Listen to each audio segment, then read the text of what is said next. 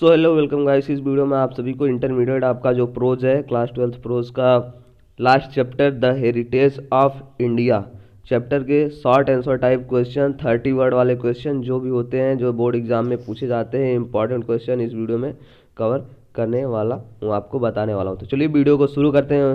उससे पहले आपने हमारे चैनल को सब्सक्राइब नहीं किया तो ज़रूर करिए और दोस्तों के साथ इस वीडियो को शेयर करिए। तो चलिए वीडियो को शुरू करते हैं। तो फ़र्स्ट क्वेश्चन हमारा इंपॉर्टेंट क्वेश्चन है इस चैप्टर से। व्हाट डिड राजा राम मोहन राय एवं एंड विवेकानंद एडवोकेट एडवोकेट तो राजा राम मोहन राय एवं विवेकानंद जी ने किसकी वकालत की? इस चैप्टर को आपने पढ़ा होगा तो आप अच्छी तरह से समझ जाएँगे कि उन्होंने किसकी वकालत की थी। तो इसका आंसर होगा Raja Ram Mohan Roy and Vivekananda advocated social reform.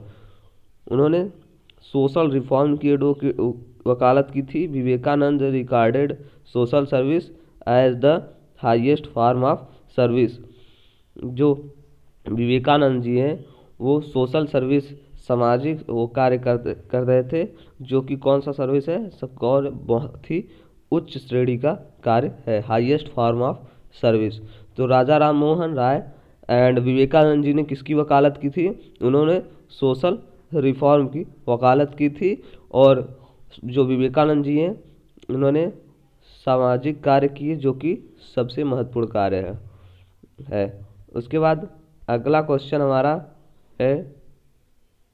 उसके बाद अगला इसमें क्वेश्चन है हमारा did Gandhi ji believe in the fundamental of the ancient Indian culture what is the contribution of Gandhi ji to Hindu culture क्या गांधी जी प्राचीन भारतीय संस्कृति की मौलिकता में विश्वास करते थे? हिंदू संस्कृति में गांधी जी का क्या योगदान था? या फिर इस क्वेश्चन को वैसे पूछा जा सकता है what was Mahatma Gandhi attitude toward Indian culture तो महात्मा गांधी की भारतीय संस्कृति के प्रति क्या भाव हैं? ये क्वेश्चन आपको दो टाइप से पूछा जा सकता है, लेकिन इसका आंसर एक होगा।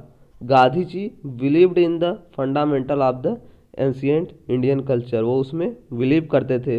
He opposed the caste system and believed in non violence वो वायलेंस में बिलीव नहीं करते थे। नॉन वायलेंस वो वो शांति बनाने रखना चाहते थे। अशांति नहीं। He fought for women's rights and equality and help the approached and down town तो इस क्वेश्चन का आंसर ये है। अगला क्वेश्चन जो है इस चैप्टर का इम्पोर्टेंट है। What does the heritage of India consist of Bharat की परंपरा किससे बनी है?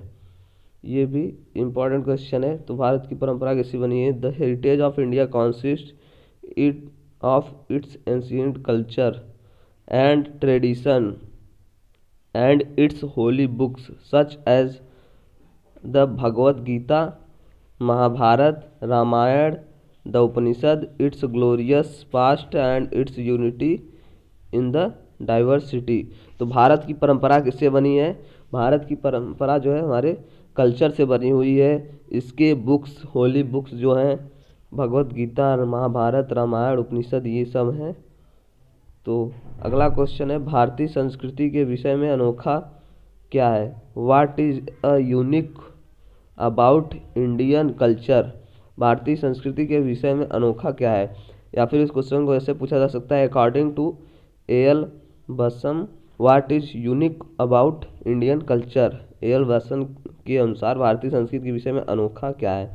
तो इसका आंसर होगा Indian culture is a unique in the respect that through it received adapted and digest elements of many different cultures the culture tradition of india continued and remained unchanged भारतीय संस्कृति के विषय में इसलिए भारतीय संस्कृति इसलिए अनोखा है क्योंकि यहाँ यह सबसे यूनिक है यहाँ पे क्या है सभी प्रकार के धर्म के लोग हैं यहाँ पे जो कल्चर्स हैं बहुत से कल्चर्स के लोग हैं और बहुत से लोगों का कल्चर यहाँ पे जुड़ा हुआ है। सभी लोग अपने अपने तरह से अपने अपने तरीके से किसी भी कार्य को करते हैं, धर्म को निभाते हैं और सभी लोग एक साथ रहते हैं, एकजुटता के साथ रहते हैं।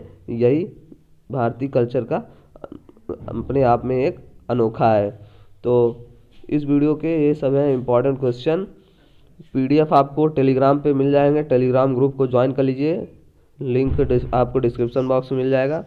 उसके बाद अब आपको जो मर्चेंट ऑफ़ वेनिस के सभी क्वेश्चंस हैं, जो आपको पूछे जाते हैं बोर्ड एग्ज़ाम में, वो क्लियर करने वाला हूँ। अगले वीडियो में आपसे आपको मर्चेंट ऑफ़ वेनिस के क्वेश्चन ही बताए जाएँगे, जो बोर्ड एग्ज़ाम में पूछे जाते हैं। और अच्छे अंक आपको मिलते हैं। उसमें आपको पचहत्तर वर्ड में आपको लिखना रहता है और पचहत्तर वर्ड में आपको लिखना रहता है और आपको आठ नंबर दिया जाता है। तो चलिए मिलते हैं अगली वीडियो में, तब तक के लिए जय जय भारत, एंड वंदे मातरम।